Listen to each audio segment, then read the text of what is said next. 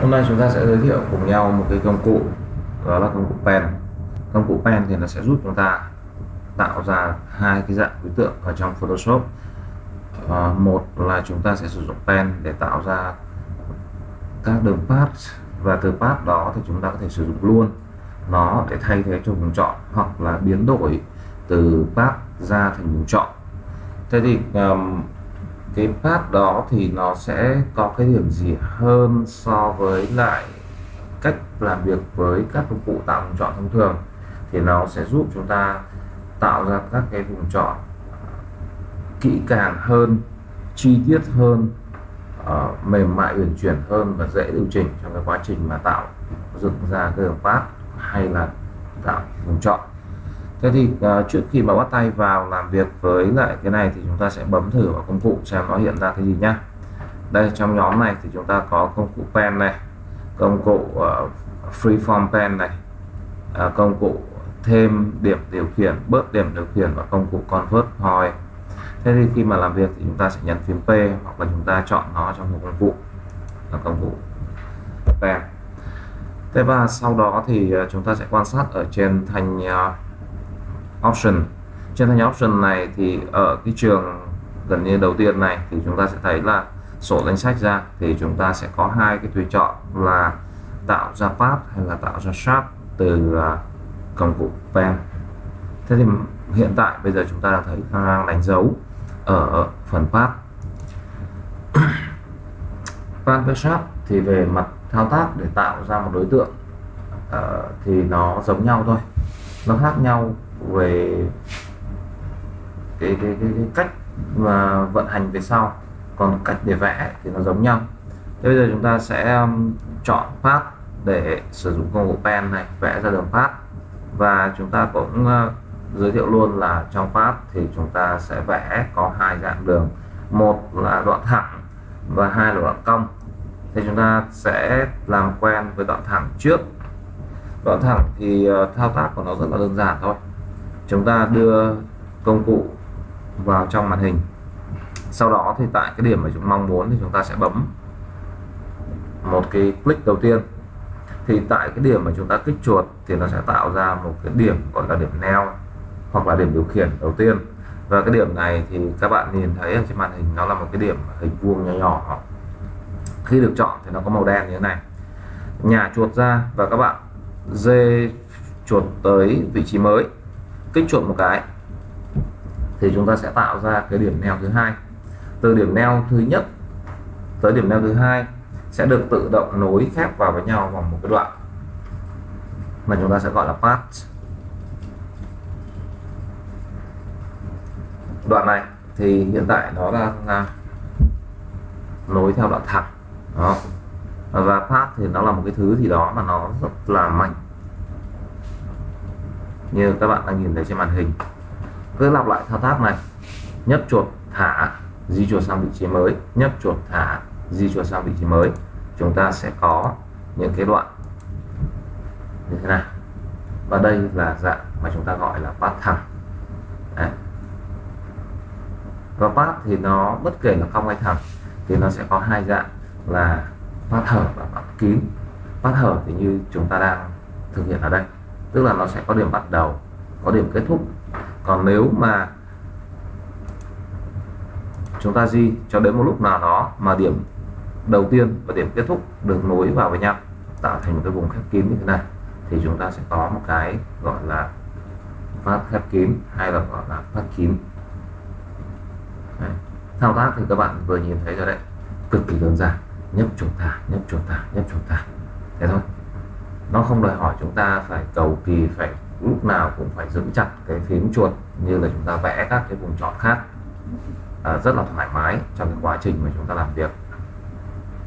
Thế thì đấy là cách để chúng ta tạo ra cái ờ, một cái đoạn path thẳng. Thế vào path thì nó vẽ ra thì nó có tác động có ảnh hưởng gì tới cái bức hình nằm bên dưới của chúng ta hay không? Thì nguyên tắc là không chẳng có ảnh hưởng gì cả. Chúng ta có dùng cái đó hay không thôi, còn vẽ ra thì không động chạm gì tới bức hình hết. Và path thì nó được quản lý và nó hiển thị ở đâu. Khi vừa vẽ xong thì nó sẽ nằm ở trên mặt màn hình như thế này. Và nó được quản lý ở trong cái panel path đây, chúng ta sẽ um, cho nó hiển thị ở đây, nhìn cho nó rõ nhé.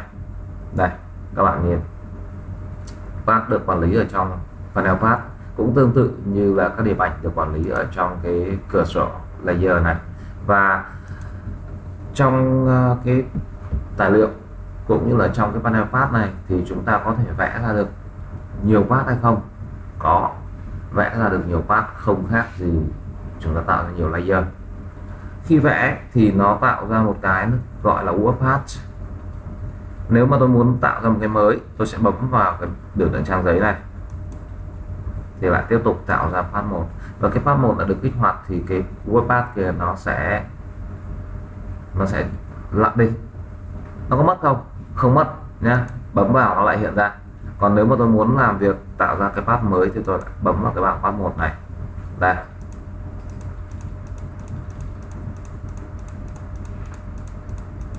Đây đây là path mới mà chúng ta đang tạo ra. Đó tạo path nữa thì lại bấm vào đây thì lập tức cái path 1 lại chìm đi và chúng ta lại làm việc với cái path 2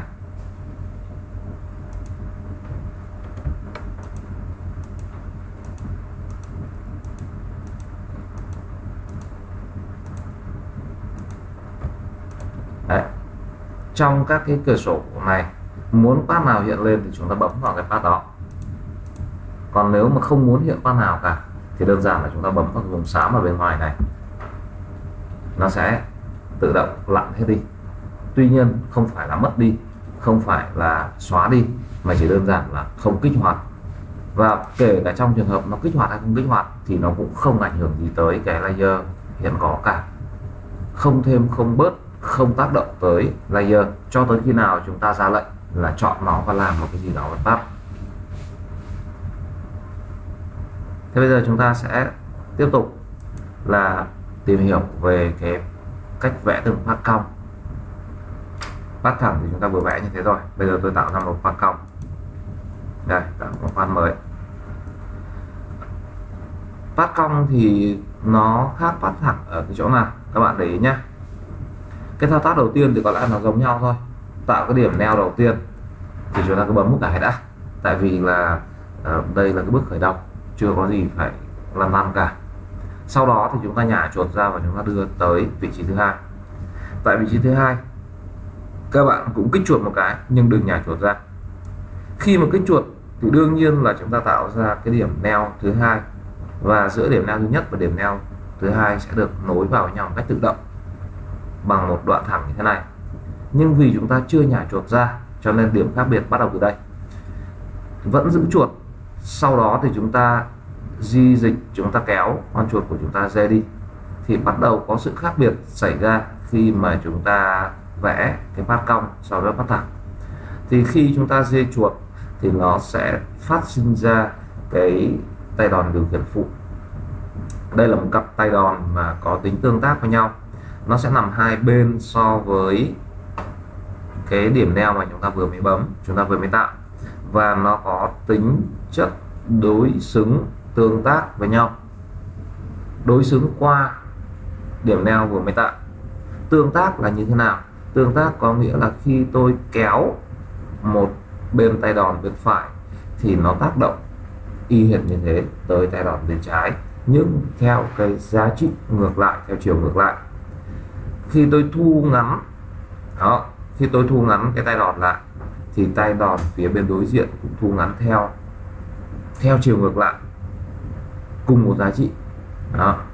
Khi tôi kéo dài nó ra, thì nó cũng sẽ kéo dài tay đòn phía bên kia, cùng một giá trị theo chiều ngược lại. Và nó hoạt động rất giống một cái bập bênh. Bởi vì nếu mà tôi nâng cái đầu, tay đòn bên phải lên bao nhiêu, thì đầu bên trái sẽ hạ xuống bấy nhiêu, thông qua cái trục là cái điểm điều khiển mà chúng ta vừa mới vẽ còn tôi hạ cái đầu này xuống thì đầu kia lại bênh ngược lên. Đấy. rất rất giống một cái bập bênh. Thế thì cái tay đòn này nó sẽ giúp chúng ta giải quyết những cái vấn đề gì?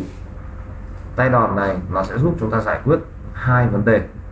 Một là điều khiển độ cong của cái đoạn mà đang được vẽ. Hai là nó điều khiển chiều cong. Về độ cong thì các bạn nhìn rất rõ, rất đơn giản thôi. Tay đòn càng dài thì độ cong của cái đoạn đang được vẽ càng lớn. Đấy.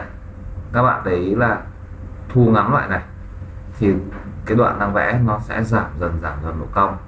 Và đến một cái độ nào đó gần như là nó trở thành thẳng.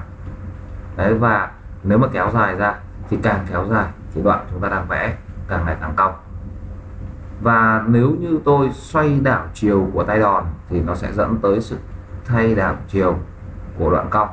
Đây, đoạn cong này đang cong lên phía trên, đúng không ạ? Cong sang bên trái. Còn nếu như tôi xoay chuyển cái hướng của tay đòn, tôi có thể nắm, tôi có thể ép cái đoạn cong này cong xuống bên phía dưới và sang bên phải. Như vậy là cách vẽ cong thì nó sẽ khác với cách vẽ thẳng là vẽ và vẫn giữ cái phím chuột, sau đó thì chúng ta sẽ kéo để chúng ta tác động tới cái giá trị dài ngắn của tay đòn và chiều của tay đòn. Với mặt nguyên tắc thì cái tay đòn này nó luôn luôn liên thông với nhau, bên trái và bên phải. Bên sẽ vẽ và bên đang vẽ. Đấy.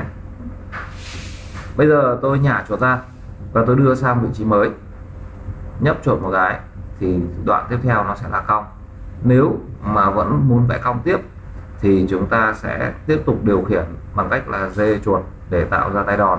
Còn nếu mà chúng ta dừng, chúng ta không muốn vẽ cong, thì chỉ cần là gì đấy vẽ đến đây và không kéo nữa, thì cái đoạn tiếp theo chúng ta sẽ vẽ ra nó lại là thẳng. Tức là đây là một cái cách vẽ mà nó có thể kết hợp giữa cái đường cong và đường thẳng. Đấy, muốn lúc nào mà cong thì phải cần phải nhấp chuột xong thì kéo thêm một chút để nó tạo ra cái tay đòn cong còn nếu không nhấp mà không kéo thì chúng ta có thể vẽ ra tiếp tục thành cái đoạn thẳng. Thế thì cái cách này nó sẽ khác cái cách vẽ thẳng như thế nào? Nó sẽ giúp chúng ta làm được cái gì hay ho đây? Thứ nhất là cong thì nó sẽ giúp chúng ta vẽ ra những cái đoạn bám theo hướng cong của cái đối tượng. Các công cụ trước đây của chúng ta thì chúng ta có thể vẽ theo cái đoạn cong, nhưng mà nó thiếu đi cái sự điều chỉnh trong cái quá trình vẽ. Do đó thì cái độ chính xác của nó kém. Và thứ hai là trong cái quá trình mà vẽ thì gần như là chúng ta không điều chỉnh được trong cái lúc mà chúng ta đang vẽ. Thế còn cái công cụ này thì nó giúp chúng ta là điều chỉnh trong lúc vẽ, bao gồm kể cả là đặt điểm điều khiển rồi nhưng mà chúng ta vẫn có thể là gì đấy di chuyển nó. Chúng ta có thể là vừa vẽ vừa hiệu chỉnh vân vân. Thế thì nó sẽ giúp cho chúng ta sẽ có được một cái độ chính xác cao hơn rất là nhiều. À, một cái đoạn mà vẽ ra có thể là điều chỉnh thì nó sẽ mềm mại chính xác huyền chuyển. Bây giờ chúng ta sẽ thử nghiệm nhé bằng cách là mở một cái bức ảnh.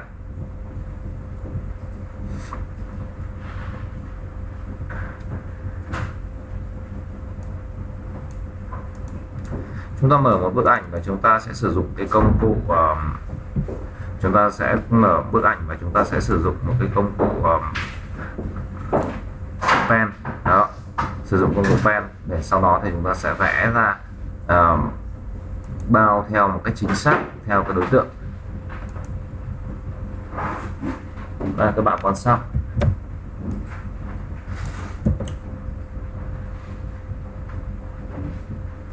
Tất nhiên bảo là chúng ta tô vẽ thì chúng ta chọn cái đối tượng ở trong cái ví dụ này thì rất là đơn giản thôi tại vì nền của nó là nền trắng cho nên là để nói rằng là để chọn con vịt thì chúng ta sẽ có những phương pháp khác chọn rất là nhanh. Ví dụ như là Magic One hoặc là nhóm uh, Quick Selection Magic One thì uh, với cái nền và mới với cái màu mà nó đơn giản mà nó thuần như thế này thì chọn bằng các công cụ đó thì uh, tuyệt đối là nhanh. À, tuy nhiên đây là một cái ví dụ để mà chúng ta có thể là uh, làm việc với lại các cái công cụ uh, pen. Đấy đó chỉ là ví dụ thôi nhé chứ trong trường hợp này thì pen không phải là cái để giúp chúng ta làm việc một cách nhanh nhất nhưng mà nó sẽ tỉ mẩn nó có thể hiệu chỉnh. Đây các bạn quan sát. Một đoạn cong thì sẽ được vẽ như thế nào? Một đoạn cong sẽ được xác định bởi ba giá trị. Điểm bắt đầu điểm cuối và cái ờ, độ cong của nó. Thế thì uh, một đoạn cong nên được vẽ làm sao cho chính xác nhất? Uh, nó sẽ cố gắng là không thừa không thiếu. Bắt đầu thì thường là chúng ta sẽ đặt vào một cái điểm nó gọi là điểm gãy. Điểm gãy là điểm như thế nào? Điểm gãy có nghĩa là giống như cái điểm này chẳng hạn. Đang cong theo một cái chiều này thì sau đó nó lại chuyển sang một cái hướng cong khác. Thì đấy gọi là điểm gãy. Đấy. Bây giờ nhé chúng ta bấm thử vào một điểm. Sau đó thì tôi sẽ tính toán ở trên cái đoạn này. Nếu nó là một cái đường cong mà cong tốt, thì chúng ta chỉ cần là bấm từ điểm này đến điểm này rồi chúng ta kéo và chúng ta điều khiển là xong. Tuy nhiên đường cong này thì nó cũng không hoàn toàn hoàn hảo. Nó sẽ có những cái giá trị nó cong không đều, do đó thì cũng không thể bấm một lần mà vẽ được. Thì chúng ta sẽ bấm vào một cái quãng nào đó ở quãng giữa này. Sau đó thì bắt đầu giữ chuột và kéo. Khi chúng ta kéo thì nó tạo ra tay đòn. Đó. Chúng ta sẽ làm cái gì với cái tay đòn này? Đây, đầu tiên là co duỗi co duỗi để điều chỉnh cái độ dài của tay đòn. Cũng đồng thời chính là cái đoạn đoạn cong. Đó, cong nhiều, cong ít. Sau đó thì trong quá trình thì chúng ta sẽ lúc lắc lúc lắc lên xuống như thế này. Để cái đoạn mà chúng ta đang vẽ thì nó sẽ ốp sát vào trong cái đoạn chu vi đường cong. Đấy. sau đó thì cần làm tiếp theo là nhả chuột ra để xác nhận cái đoạn vừa rồi là vẽ xong. Tuy nhiên thì uh, trong quá trình làm như thế này thì chúng ta cũng không phải là cái đoạn nào nó cũng giống đoạn nào. Do đó thì uh, sẽ có những cái thao tác gọi là cần phải tách bạch hai tay đòn ra. Tại vì tay đòn dài như thế nào thì cái đoạn tiếp theo thì nó sẽ bị tác động như thế. Tay đòn nghiêng hướng nào thì nó sẽ dẫn hướng cho cái đoạn cong tiếp theo như thế. Và do đó thì uh, chúng ta đôi lúc là chúng ta cần phải tách ra. Để tách thì chúng ta sẽ nhấn phím An ở trên bàn phím khi nhấn phím An ở trên bàn phím thì tôi có thể tách bạch hai tay đòn ra. Không còn tương tác với nhau giống như cái bập bênh nữa. Và khi đó tôi có thể kéo dài tay đòn, tôi có thể chuyển hướng của tay đòn. Tất nhiên, tay đòn dài hay ngắn thì sẽ tác động tới cái đoạn cong cong nhiều, cong ít. Tay đòn hướng ra phía nào thì nó sẽ hướng, dẫn hướng cho cái đoạn cong tiếp theo. Và do đó thì chúng ta sẽ áng chừng cái đoạn cong này nó cần cong nhiều hay cong ít cong về phía nào để chúng ta điều khiển cái tay đòn này? Ví dụ đây sau đó thì chúng ta sẽ bấm chuột tiếp. Thế thì với cái cách mà làm mà uh, làm chuẩn đấy ước lượng và chuẩn đấy thì gần như là chúng ta điều khiển cái tay đòn xong một cái là chúng ta bấm sang cái điểm thứ hai là gần như chúng ta có thể ốp thẳng luôn cái đường cong vào cái đường chu vi của nó luôn. Đến đây do đường cong này đến đoạn này là đoạn gãy đang từ trên cong xuống dưới, đang từ bên phải cong sang bên trái, thì bây giờ nó sẽ lại cong ngược chiều lại, là ngửa lên phía trên. Do đó thì tôi lại nhấn an ở trên bàn phím và tôi điều khiển ngược cái tay đòn về phía sau này để dẫn hướng cho cái đoạn cong tiếp theo. Tiếp theo thì tôi sẽ lại bấm vào cái quãng đỉnh của đoạn cong tiếp theo mà tôi sẽ vẽ. Bấm chuột, kéo khẽ một chút để cho nó điều chỉnh thành đoạn cong trong quá trình nếu mà các bạn đặt chuột mà nó thiếu chính xác chẳng hạn, thì đừng nhả phím chuột ra. Các bạn nhấn vào phím và các bạn là nhấn vào phím an thì các bạn có thể là điều khiển tách hai tay đòn, đúng không? Thế còn nếu mà các bạn nhấn vào phím cách thì các bạn còn có thể là nhấc ra, nhấc vào cả cái điểm đang vẽ dở này. Đấy. các bạn đặt vào cái vị trí thích hợp hơn nhả nhóm cách ra, chúng ta có thể vẽ tiếp.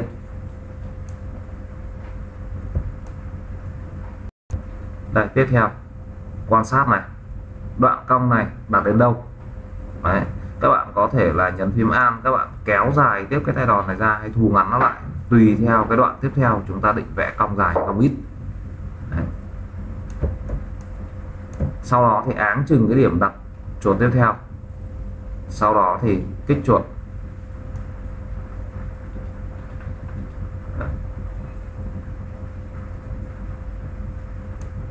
Nếu mà cái đoạn cong này nó không được úp vào tốt lắm các bạn có thể làm sao đây ạ? Nhấn phím an các bạn co kéo, các bạn khép nó vào. Cái điều này thì các bạn thấy rất khác so với lại cái phương pháp mà chúng ta vẫn làm việc uh, với lại các cái công cụ chọn hôm trước đúng không?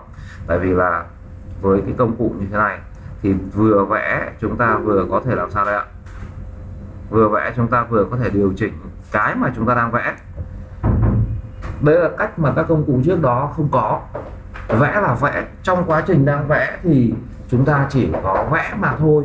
Đấy sai ở đâu đúng ở đâu thì là chúng ta phải kết thúc công việc rồi chúng ta mới có thể là hiệu chỉnh được.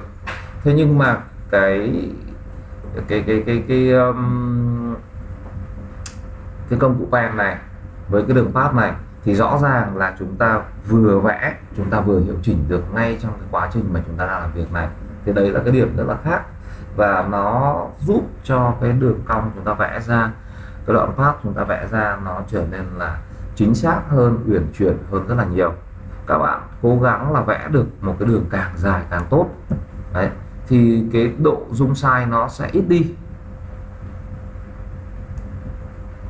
Tất nhiên vẽ đến đâu là vừa thì chúng ta sẽ cần phải có thời gian một chút. Ờ, có kinh nghiệm một chút để chúng ta ước lượng chúng ta tính toán bằng mắt. Đấy. Nhìn bằng mắt để ước lượng được là cong nhiều hay cong ít, cong phức tạp hay cong đơn giản và bấm đến đâu là vừa.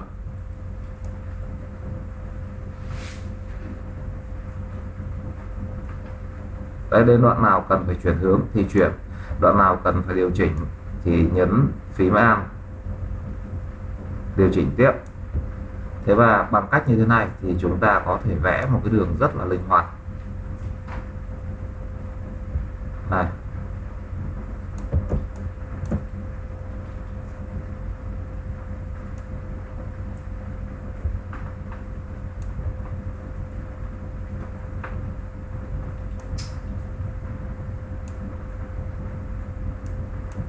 Đến đây, lại do chuyển hướng thì chúng ta lại bấm tiếp như thế này. Chuyển hướng lên phía trên. Đoạn này thì cong ít thôi, thì nhấn an thu ngắn bớt cái đoạn này lại để chúng ta bấm vào đây, kéo khẽ một chút là nó cong vừa. Lại nhấn an bẻ hướng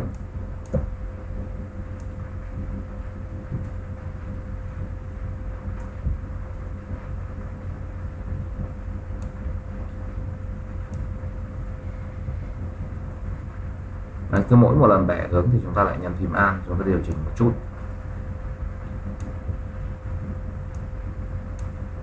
Đấy, thì đến đây, chúng ta đã có được một cái một cái đường pass vẽ bao xung quanh cái đối tượng là cái con à, con vịt này. Thế thì các bạn đang à, quan sát là chúng ta có một cái đường pass bám theo đối tượng rồi. Nếu mà tôi lại bật cái cửa sổ path này lên thì tôi sẽ nhìn thấy rất rõ là cái phát ở trong này. Bấm ra ngoài thì sao? Bấm vùng vào vùng xám này. Phát lại lặn đi. Kích vào phát, kích vào phát nào thì nó lên phát đó. Và nó cũng không hề tác động gì tới cái đối tượng của chúng ta. Đấy, còn lúc nào dùng thì chúng ta sẽ dùng theo một trong hai cách như sau. Một là các bạn sử dụng luôn đường phát thay thế cho cái vùng chọn cách làm như sau.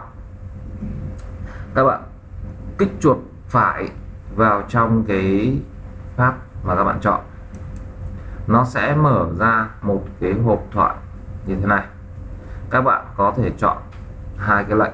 Một là finpath và hai là stroke Finpath thì nó hoạt động không khác gì vùng chọn. Đây các bạn quan sát.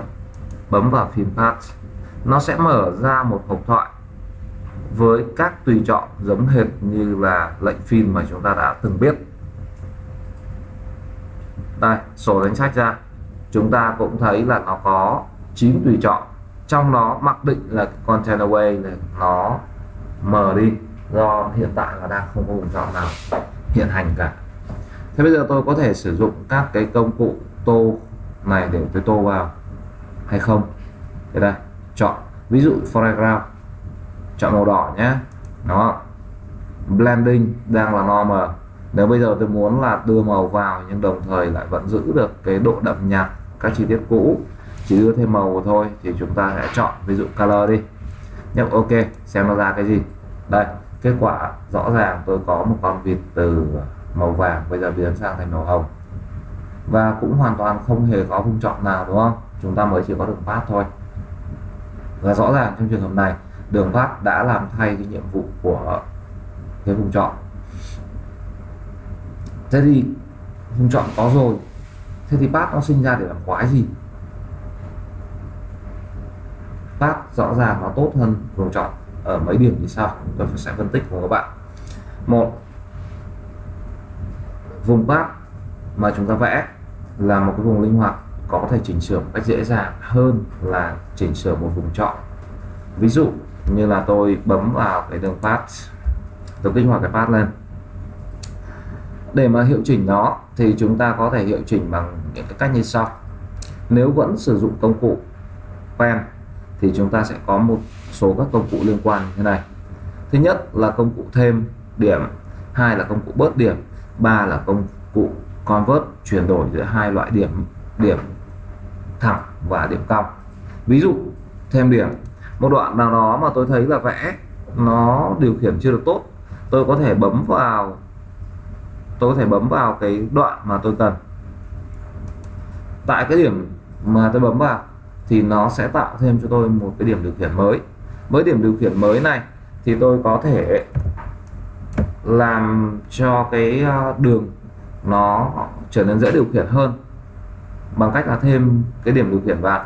Và khi mà đã thêm điểm điều khiển vào rồi thì có thể là ờ, nó sẽ giúp cho chúng ta điều chỉnh tốt hơn nếu như vừa nãy chúng ta vẽ cái đoạn mà nó quá dài chẳng hạn, mà cái đường cong thì nó lại không được cong hoàn hảo lắm, nó hơi gãy, thì chúng ta sẽ phải thêm điều điều khiển vào để chúng ta ốp vào, chúng ta điều khiển chi tiết nó tốt hơn.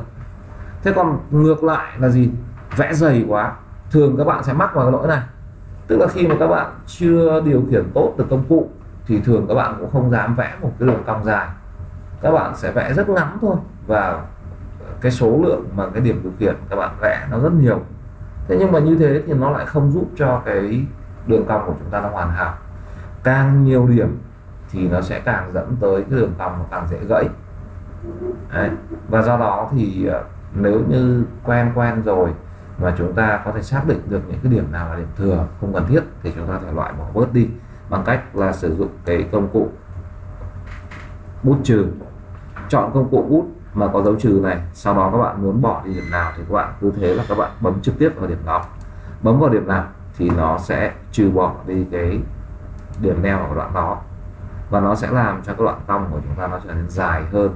Tất nhiên dài hơn thì nó cũng sẽ trơn hơn, mịn màng hơn so với quá nhiều điểm điều khiển. Thế còn trong một trường hợp khác nữa thì chúng ta còn có cái công cụ ở dưới cùng này, nó gọi là công cụ convert point tool thì như lúc đầu tiên chúng ta có nói là chúng ta có hai cái loại nút phụ trách hai đoạn. Nút thẳng và nút cong. Nút thẳng thì chúng ta cứ bấm thả bấm thả nó ra đoạn thẳng. Còn nút cong là bấm rồi giữ chuột và kéo dê để tạo ra đường cong. Thì uh, hai cái nút đó sẽ phụ trách hai cái loại đường khác nhau. Và nếu như cái đoạn nào mà chúng ta muốn chuyển đổi qua lại giữa hai cái loại đó thì chúng ta chỉ việc là sử dụng cái công cụ convert point này bấm vào cái điểm mà chúng ta muốn thì nó sẽ chuyển qua chuyển lại giữa hai loại là loại đường thẳng và loại đường cong. Đây các bạn quan sát thử cái đoạn này nhé. Ở đoạn này thì nó có cả thẳng cả cong đây. Thì các bạn sẽ nhìn thấy, ví dụ đây là đoạn cong.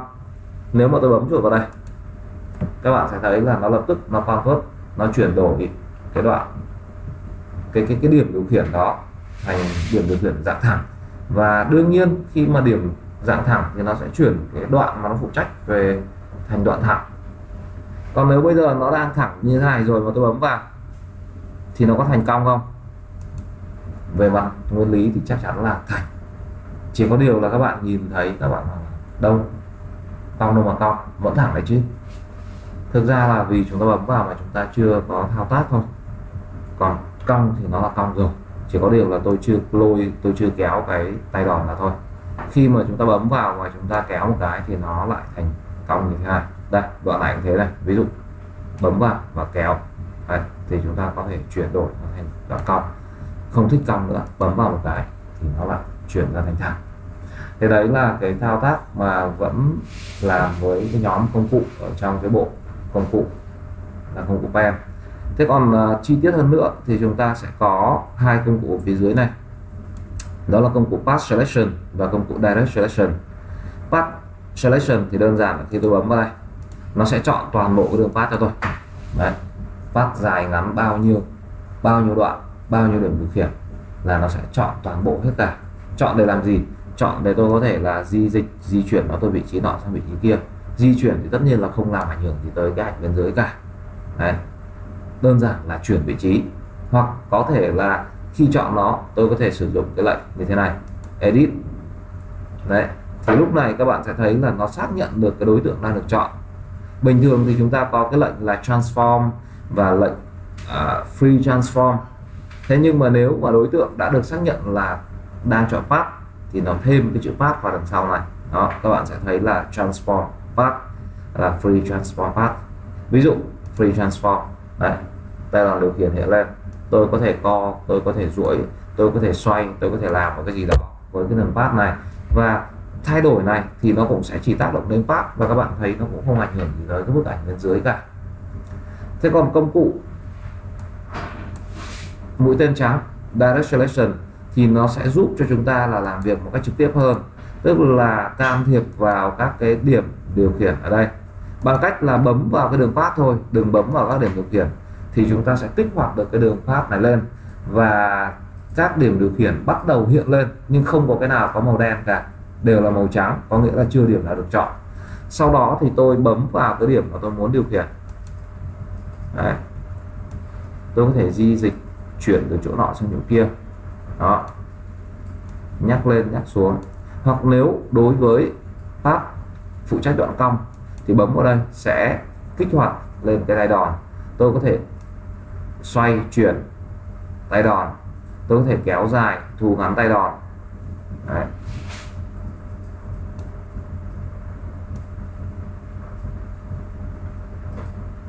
Đấy là thao tác mà chúng ta có thể làm, có thể chỉnh bằng cái công cụ direct selection. Thế thì các bạn thấy rằng là không có cái công cụ nào mà tạo ra vùng chọn vẽ xong rồi mà chỉnh lại một cách dễ dàng và uyển chuyển giống như công cụ này. Đấy. và nó mềm mại, nó linh hoạt hơn so với lại các cái công cụ mà chúng ta đã từng làm trước đó. Với cái vấn đề thứ hai nữa là gì? Nó không bắt chúng ta là phải à, phải lưu vùng chọn tại vì đây, tôi kích hoạt cái cửa sổ path này lên nhé. Các bạn thấy là tôi vẽ xong cái nào thì nó sẽ xuất hiện một cái path trong cửa sổ path này, giống như là trong layer. Đấy chính là nơi lưu giữ cái path lưu giữ một cách tự nhiên, vẽ xong là nó tự xuất hiện ở trong này. Chứ nó lại không giống như là một vùng chọn. Trước đây mà chúng ta muốn lưu là chúng ta lại phải vào menu select này. Chúng ta chọn lệnh shape selection này. Đấy, đặt tên, đặt tiếp các thứ xếp xong thì chúng ta mới lưu được cái vùng chọn. Có nghĩa là cứ vẽ xong, muốn lưu là phải thực hiện thao tác lưu thì mới có. Cái vùng chọn nó được lưu. Thế còn trong cái path này thì vẽ xong là mặc nhiên là nó đã nằm ở trong này rồi. Muốn hay không muốn nó cũng đã nằm ở trong này rồi. Và chúng ta không cần phải lưu luyện gì cả, nó cũng đã có mà chọn cái nào thì đơn giản là bấm vào cái đó để kích hoạt nó lên. Thì đấy là cái mà nó tiện lợi hơn khá nhiều so với cái cách làm việc của vùng chọn. Đấy. vùng chọn buộc lưu mới có, mới giữ được. Còn pháp thì vẽ xong là sẽ nằm ở trong này, là sẽ có trong này. Tất nhiên là chúng ta cũng có thể kết hợp giữa các cái kiểu vẽ khác nhau, các chế độ khác nhau. Ví dụ một cái path. Bây giờ tôi có thể vẽ theo kiểu thêm vào một cái path đang có hoặc là tạo ra một cái shop mới. Đấy shop mới thì đơn giản như vừa nãy tôi đã giới thiệu đúng không bấm vào cái biểu tượng trang giấy trắng lập tức là mỗi một lần bấm này nó sẽ tạo ra một phát mới giống như chúng ta tạo ra một layer mới ấy. trắng tinh rồi sau đó vẽ phát nào lên thì nó sẽ lưu trong đó. Thế còn uh, các chế độ thì các bạn sẽ thấy nó có thêm một số cái như này. Combine sharp này subtract này intersect này exclude này cái này trông và nghe có vẻ giống như là cái cách à, tạo vùng chọn đúng không? Còn nhớ cái này để làm gì không ạ? Thêm vào này đúng không? Thêm vào mở rộng vùng chọn ra này. Vẽ vùng chọn mới để gì đây ạ? Giao cắt với vùng chọn cũ thì sẽ giao cắt ở đâu thì cắt bớt đi này. Đó. Rồi à, gì nữa nhỉ? Giữ lại gì ạ? Giữ lại phần giao nhau giữa hai cái thì đại loại, thoáng qua thì các bạn nhìn thấy là nó cũng hơi hơi giống như là cái cách tạo vùng chọn và các tùy chọn đó. Ví dụ như bây giờ tôi ờ, muốn vẽ ra một cái path thì các bạn nhìn ở đây. Nó sẽ phân ra thành hai khu vực. Một cái khu vực là màu trắng và khu vực màu xám. Khu vực trong màu trắng này chính là cái khu vực mà chúng ta muốn vào chúng ta muốn lấy thế còn màu xám là cái khu vực bên ngoài chúng ta không cần. Tuy nhiên nếu bây giờ tôi vẽ vào ở đây tôi chọn ở cái chế độ subtract chẳng hạn thì nó sẽ thành thế nào? Ví dụ vẽ subtract chẳng hạn. Bây giờ tôi uh, vẽ vào cái khu vực cái con mắt này chẳng hạn.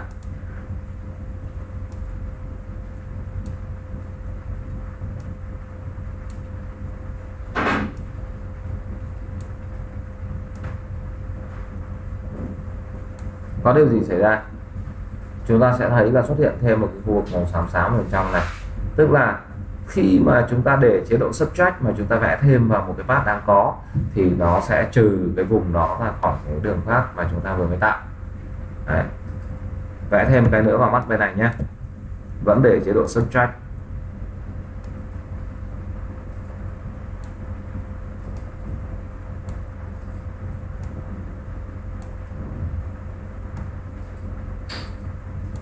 Đây lập tức lại sẽ có thêm một vùng sáng nữa vào đây.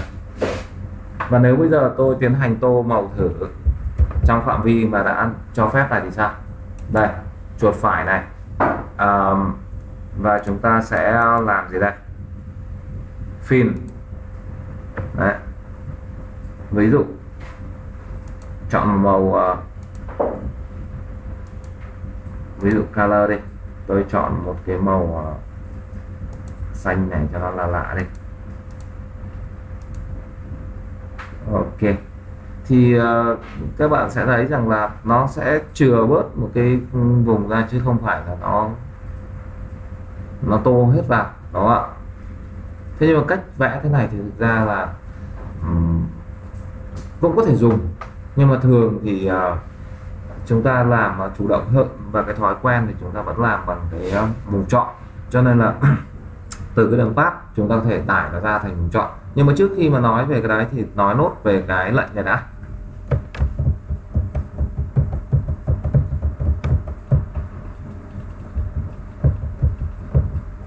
Này ví dụ vừa nãy là chúng ta à, sử dụng là lệnh tô đúng không thì chúng ta chuột phải vào đây chúng ta chọn là fin path.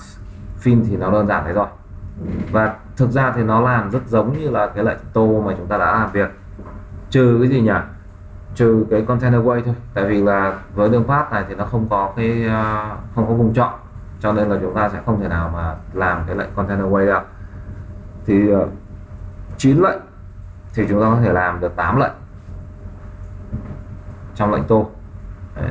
trừ container way do không có vùng chọn thế còn là làm quen thêm một chút với cái thằng stroke path này đã. Stroke thì nó làm như thế nào? Stroke path có nghĩa là nó vẽ cái đường gì nhỉ? Đường viền stroke này, đúng không? Nó tô đường viền stroke này thông qua cái path mà chúng ta đang có. Thế đây chuột phải stroke path. Nó sẽ ra một cái bảng stroke path. Cái này thì nó hơi khác với cái stroke mà chúng ta đã làm quen ở trong các bài trước. Nó lại hiện ra một cái hộp công cụ cơ. Trong hộp này, nó cung cấp cho chúng ta những cái gì? Gần như là toàn bộ những cái công cụ mà chúng ta gặp ở trong hộp công cụ và nó stroke theo từng cái công cụ mà chúng ta chọn. Ví dụ như là tôi có thể chọn erase thử xem nào. Nhấp ok. Tôi sẽ thấy là nó sẽ xóa bén hết tất cả trong này đi. Xóa hết. Lý do vì sao? Vì nó sẽ lấy tất cả các thiết lập vốn có trước đây của cái công cụ đó ở lần thao tác gần nhất. Nó áp dụng sang. Bây giờ Ctrl Z hoặc Ctrl Alt Z lùi lại để chúng ta kiểm tra lại cái công cụ erase mà chúng ta dùng hôm trước là bao nhiêu? À 527 kích thước rất to, do đó gần như là nó vào đấy là nó sẽ xóa hết. Bây giờ nếu như mà tôi thiết lập lại cái size cho cái này, nó bé bé thôi thì sao? Ok, làm xong. Bây giờ tôi lại thực hiện lại cái thao tác là gì đây ạ? Stroke path. Vẫn dùng erase nhá. Ok bây giờ thì nó sẽ sử dụng cái công cụ erase này để nó stroke path và nó bằng cái kích thước so với lại cái tẩy mà gần nhất mà chúng ta vừa mới tạo. Ok, bây giờ kiểm tra lại cái khác nhé. Ví dụ như là cái công cụ brush brushstone brush thì bây giờ tôi ờ, thiết lập cho nó ví dụ như là size tầng này độ mềm mềm hết cỡ đi bây giờ chúng ta thử sử dụng công cụ stroke path bằng công cụ brush ok các bạn sẽ thấy nó hoạt động giống như là cái công cụ brush kích thước từng đó đúng không? Lấy màu từ màu tiền cảnh đưa vào. Ví dụ bây giờ tôi lại không thích dùng cái này. Bây giờ dùng thử chế độ gì đây nhỉ? À, chẳng hạn như là dislow và chẳng hạn. Ờ, để ở chế độ uh, opacity thấp thôi. Tăng cái size rồi lớn lên một tí. Ok bây giờ tôi lại thử lại cái này. Chuột phải stroke path vẫn dùng brush nhé đây thì chúng ta lại được cái chế độ dislow của cái ờ, cái brush. Nó lấm cha lấm chấm như thế này. Có nghĩa là riêng cái stroke này thì nó sẽ lấy từng cái công cụ do chúng ta thiết lập không có một chế độ duy nhất không có một kết quả duy nhất đâu. Mà tùy thuộc vào chúng ta chỉ định công cụ nào thì nó sẽ sử dụng chính công cụ đó nó sẽ chạy theo cái đường path này để nó tạo ra cái đường viền uh, stroke theo cái path mà chúng ta vừa mới chọn. Thì đấy là cái cách làm việc rất là đặc biệt của cái đường path. Đây là những cái gì mà chúng ta đang làm việc trên path. Đấy không cần phải vùng chọn. Cứ bám theo đường path mà làm thôi. Và có hai tùy chọn nó cũng hơi hơi giống như những khái niệm mà chúng ta đã từng biết. Đó là tô vào trong cái diện tích vùng chọn thì bây giờ nó tô vào trong diện tích mà đường path vẽ ra. Và stroke theo cái chu vi của vùng chọn thì bây giờ nó sẽ stroke theo cái đường path mà chúng ta vừa vẽ ra. Tuy nhiên cái sự uh, stroke path này thì nó phong phú hơn rất nhiều so với lại stroke của vùng chọn đó vùng chọn nó chỉ đơn giản là tô một cái màu mè gì đó theo cái đường viền và màu thì chỉ có một màu duy nhất màu solid do chúng ta chọn thôi. Đấy, thế thì uh, cái à, cái thao tác stroke path ở trong uh, cái ví dụ vừa rồi thì chúng ta thấy rằng là nó phong phú hơn rất nhiều. Tuy nhiên uh, đây chỉ là một trong các cái tùy chọn thôi. Chúng ta cũng có thể là vẫn sử dụng cái pháp này để biến đổi nó về vùng chọn. Đây là một khái niệm rất là quen thuộc từ đầu đến giờ chúng ta đã làm thế thì để biến đổi một cái path sang thành vùng chọn thì chúng ta có có lẽ là khoảng 5 cách khác nhau. Đấy. tất nhiên là giới thiệu thì giới thiệu vậy thôi. Còn các bạn sau này các bạn làm việc các bạn quen cách nào thì các bạn cứ làm cách đó thôi. Chúng ta có mấy cách như thế này nhé. Sau khi mà các bạn vẽ ra đường path rồi à, để biến đổi cái path hiện hành này sang thành vùng chọn thì chúng ta thực hiện một trong những cách sau. Một là các bạn à, nhấn Ctrl Enter ở trên bàn phím. Đấy. thao tác trên bàn phím thì nó sẽ biến đổi luôn cái đường path của các bạn sang thành vùng chọn. Việc này có làm cho đường path mất đi không? Không. Nó chỉ dựa trên cái cái hình hài và cái diện tích của đường path đã vẽ và nó sẽ làm hiển thị ra cái vùng chọn. Bám theo cái bám theo cái cái cái, cái, cái um, đường path đó. Đấy là một cách nhá bây giờ Ctrl D này và kích hoạt lại cái đường phát. bây giờ cách thứ hai này. Giữ phím Ctrl và các bạn click vào thumbnail, cái hình thu nhỏ của cái à, của cái đường phát này. Đây, giữ Ctrl này. Ctrl phải cũng được Ctrl trái cũng được, tùy các bạn. Sau đó thì click vào cái thumbnail là cái này. Thì nó cũng sẽ tải cái vùng chọn lên theo đúng cái đường path đó. Đấy là cách thứ hai nhé cách một là Ctrl Enter này. Đây, nhìn lại này. Cách một Ctrl Enter. Đấy cách hai là gì đây ạ? Control click vào đây. Cách thứ ba này là chuột phải vào đây. Và chúng ta chọn cái lệnh cho menu ngữ cảnh, make selection. Nó sẽ hiện ra một bảng thoại.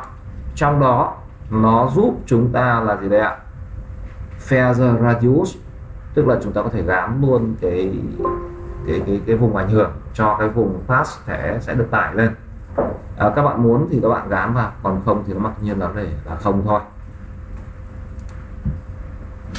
Cách thứ ba rồi này. Cách thứ tư này. Cách thứ tư là các bạn nhấp chọn vào cái WordPad này. Thế nhưng mà thay vì là chuột phải vào đây gọi cái lệnh Make Selection thì các bạn có thể là bấm vào cái biểu tượng ở phía trên này. Cái góc trên bên phải này. Và cũng vẫn có một cái lệnh là Make Selection ở đây. Thực ra thì hai lệnh này là một nó chỉ khác nhau ở cái vị trí gọi thôi. Một thằng thì gọi trực tiếp ở cái path được quản lý ở trong panel này. Còn một cái lệnh thì chúng ta sẽ gọi nó ở trên cái cái menu tổng. Đó. Hay gọi vui vui gọi là cái menu tổng quản này. Đấy thì uh, chúng ta có thể gọi nó ở trên này. Hai thằng thực ra là một chỉ khác nhau về cái vị trí gọi thôi. Thế còn một cách nữa thì là chúng ta thao tác với lại các cái nút điều khiển ở phía bên dưới này ở dưới chân bảng này thì chọn cái path mà chúng chúng ta cần. Sau đó thì các bạn bấm vào cái biểu tượng thứ ba từ bên trái tính sang ở các trong số các icon nằm ở đáy của hộp. Nó có biểu tượng là một cái vòng tròn được uh, vẽ ra bằng các cái đường chấm chấm ở đây. Hay là tên của nó là load the path add a selection đó. tải cái đường path như là một cái vùng chọn đây, bấm vào đây thì nó sẽ tải cái vùng chọn lên theo hình dáng của cái đường phát và do đó thì chúng ta lại quay trở về với cái vùng chọn quen thuộc mà chúng ta đã làm việc với nhau ở 4 năm buổi trước đây. Đó. và với vùng chọn thì các bạn muốn làm gì thì các bạn làm theo cái thói quen, theo với công cụ, theo các lệnh mà các bạn đã từng biết trước đó.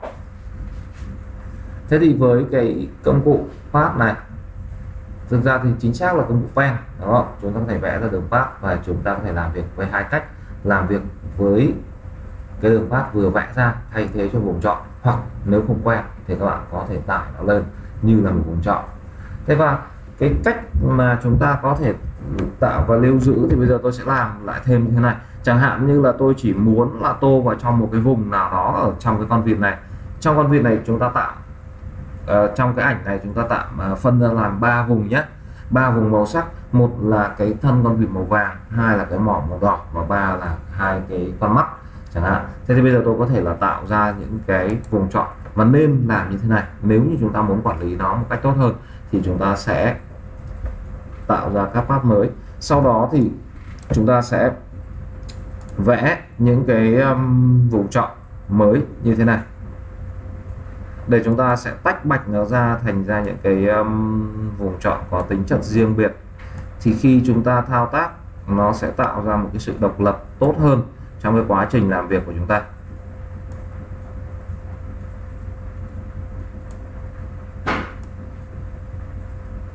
Tôi sẽ vẽ ra các vùng chọn liên quan tới cái mỏ riêng tới cái um, con mắt riêng.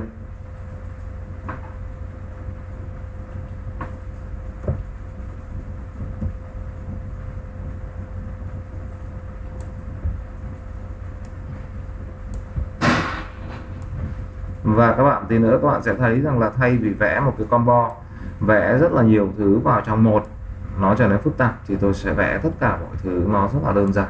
Mỗi thằng là một part riêng. Nó sẽ có cái sự quản lý riêng biệt và đồng thời khi mà chúng ta làm việc thì nó sẽ có được cái tính độc lập rất là cao. Lúc nào cần kết hợp thì kết hợp, lúc nào không cần thì thôi. Chúng ta không cần kích hoạt nó lên. Và đây, các bạn có thể làm xử lý à chế độ chế độ chế độ. Có lẽ là chúng ta phải kiểm tra lại cái này một tí. Này trước khi vẽ thì phải xem lại đang để ở chế độ gì. Đây đây đang là để ở chế độ uh, subtract phải trả lại chế độ ờ, uh, combine đã. Thì nó mới là vẽ đến vẽ cái nào là quản lý riêng cái đó. Đây nếu không thì là chúng ta sẽ thành ra là uh, sử dụng nó giống như là cái chế độ invert ấy đảo ngược vậy vẽ trong và cuối cùng lại thành ra chọn ngoài. Này, vẽ lại một chút nha.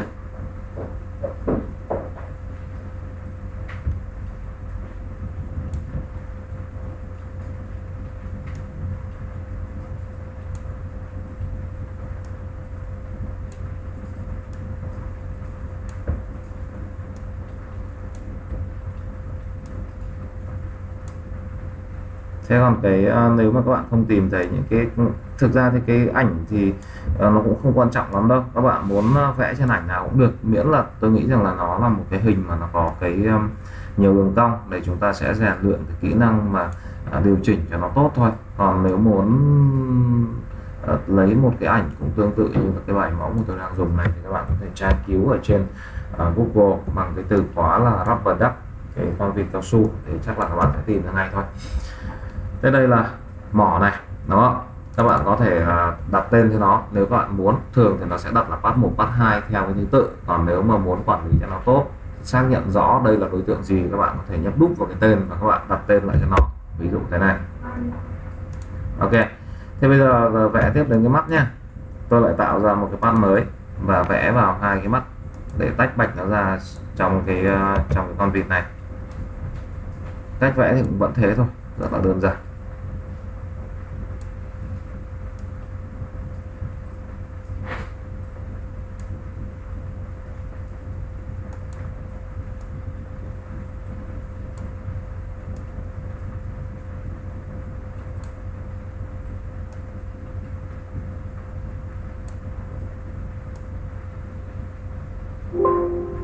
Ví dụ đây đây tôi vẽ xong cái mắt.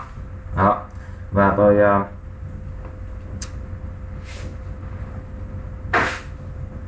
uh, sẽ uh, quản lý nó.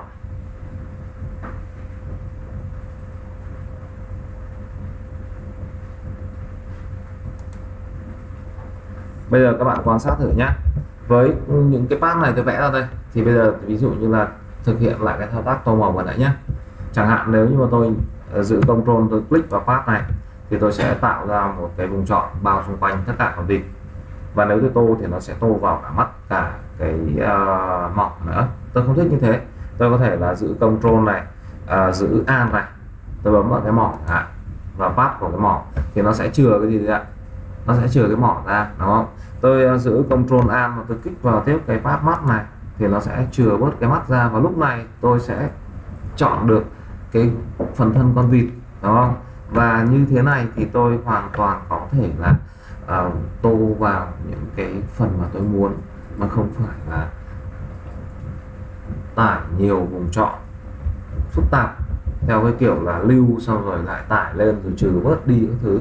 Thì nó rất là lằng nhằng trong cái cái, cái, cái cách làm việc ở vùng chọn đấy. Thì tôi có thể làm việc rất là ngắn gọn rất trực quan ở trong cái bảng phát này đấy còn nếu mà muốn dùng riêng cái mỏ thì đây giữ control kích vào đây. Vậy thì tôi kích lên cái mỏ. Chẳng hạn không thích mỏ đỏ nữa. Xu hướng mới bây giờ mà nó cứ phải thích uh, ở tím tái Hàn Quốc một tí thì tôi có thể là lấy màu theo cái kiểu tông Hàn Quốc đi. Đó. Ví dụ. Color. Ok đây ví dụ có thể tô màu riêng thế này. Miễn là cứ cái đường path chúng ta vẽ ra thế nào chúng ta sẽ tải nó ra như thế. Đấy, rất là nhanh gọn rất là trực quan.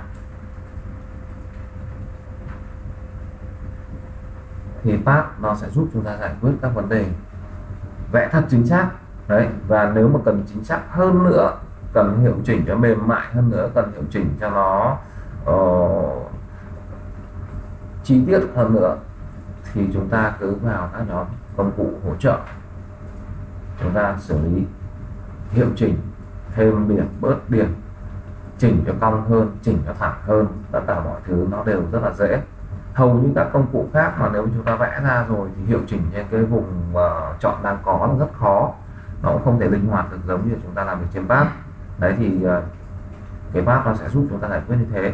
Tuy nhiên là uh, các bạn đừng có nghĩ rằng là bát nó nó như thế thì trong mọi trường hợp cứ phải lôi bát ra làm đó, những cái gì đơn giản, những cái gì mà những cái vùng chọn nó có thể đáp ứng được, nó có thể xử lý tốt thì vẫn cứ sử dụng vùng chọn như thường, chứ không phải cứ nhăm nhăm lúc nào cần thì cũng cứ đè công cụ ban ra để sử dụng bát hết ờ, nó trường hợp như thế, đôi lúc nó gần như là giống như là giết gà, cứ bắt ra một trâu lại. những cái hình, ví dụ như là hình hình học chẳng hạn đấy những công cụ chúng ta vẽ ra hình elip hay là hình chữ nhật nhanh hơn thì trả tội gì vẽ path ra để làm cả. Nó cũng không thể chính xác hơn được. Đấy. ví dụ như thế chỉ những cái đường nào mà nó đòi hỏi rất là phức tạp. Đấy độ cố éo nhiều và đòi hỏi thật là chính xác thì lúc đó chúng ta mới cần vận dụng tới mới cần cái sự hỗ trợ của path này thôi. Thế bây giờ các bạn thử nghiệm một chút vài phút với lại cái công cụ path này để làm quen các thao tác. À, sau đó thì chúng ta cũng sẽ lại tiếp tục quay trở lại với cái công cụ pen này. Nhưng lúc này thì chúng ta sẽ à, nói sang về một cái dạng đối tượng khác là cái sharp. Cách vẽ thì hoàn toàn giống nhau. Đấy nhưng mà kết quả cho ra thì lại là ra một đối tượng khác và cách dùng nó khác một chút. Thì uh, khi mà đã thuận cái cách vẽ của Pháp thì uh, vẽ ra sharp layer thì nó cũng rất dễ thôi. Nhưng tuy nhiên chúng ta phải cần phải nắm được cách làm việc của nó thì lại khác biệt một chút.